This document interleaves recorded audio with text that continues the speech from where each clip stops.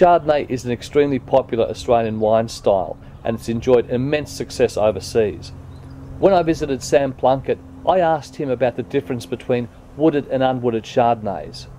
Less ripe Chardonnay will get more green flavours, perhaps uh, pea kind of flavours, even some herbal notes.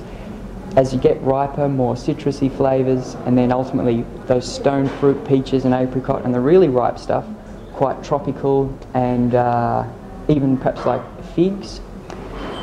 Then uh, there's a, also a, a, difference by region. I think up in the Strathbogies, where our Chardonnay is grown, we get quite citrusy flavours and we get uh, fairly high natural acid, so the wine can be quite crisp.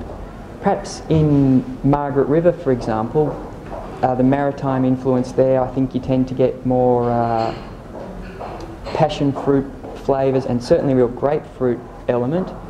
Uh, and then a, a, warm climate in, on the Murray River or Barossa,